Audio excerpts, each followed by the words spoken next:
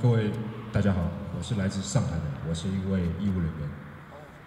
呃，那经过我的了解呢，其实武汉当地的情况，因为我有很多校友都到武汉医院去了，很多进了红区的医生，他们收治的病人其实都是所谓的关系户。是上海某家二级医院的医护人员。呃，我们单位作为医护人呃医护医医院的话，应该是全员参与参与的。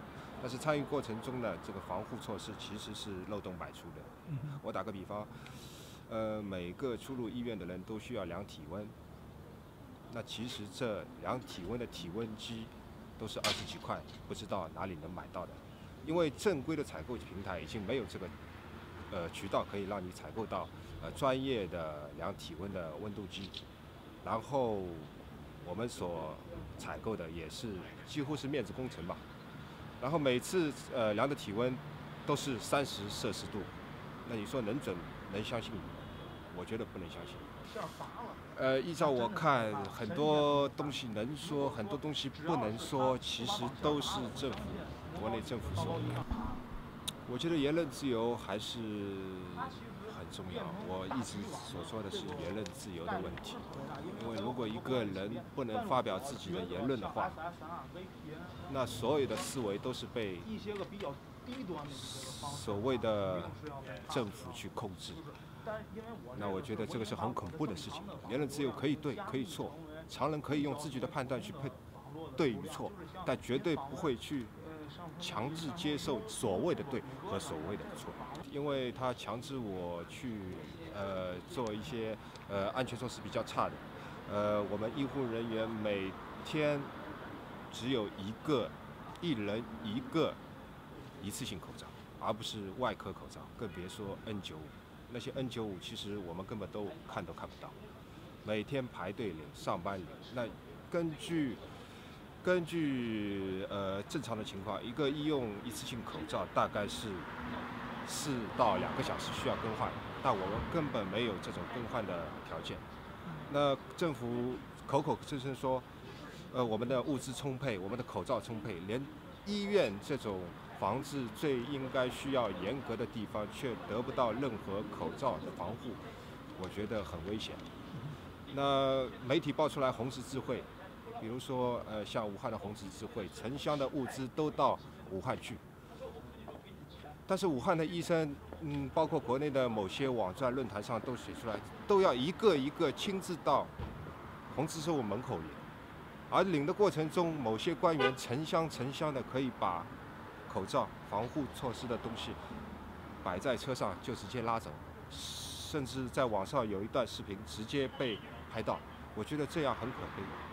作为一个医护人员，我对他们其实是感到厌恶。政府为什么要把这种物资这样去分配？各区大概有二到三个发热门诊，但是呢，这些有发热门诊的几乎别的病都不看，几乎。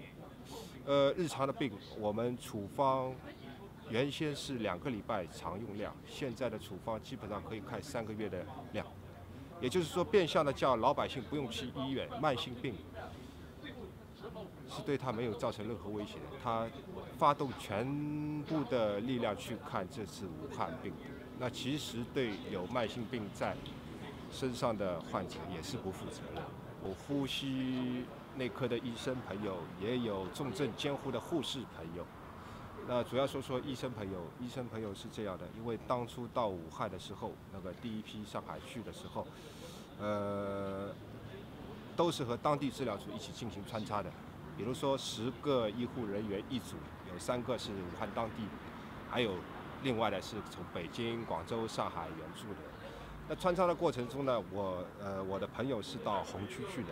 所谓的红区就是已经确诊的病患，那这些病患一个一个被进来的时候呢，都是有标注标签的。